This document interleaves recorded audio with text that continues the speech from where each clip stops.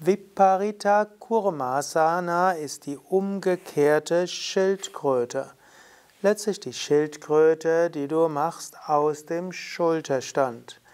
Du kannst letztlich aus dem Flug heraus die Knie etwas zur Seite geben und dann die Arme unter den Kniekehlen hindurchwinden, versuchen die Füße hinter den Kopf zu geben und dann kannst du entweder die Hände an den Füßen halten oder die Hände flach auf den Boden setzen.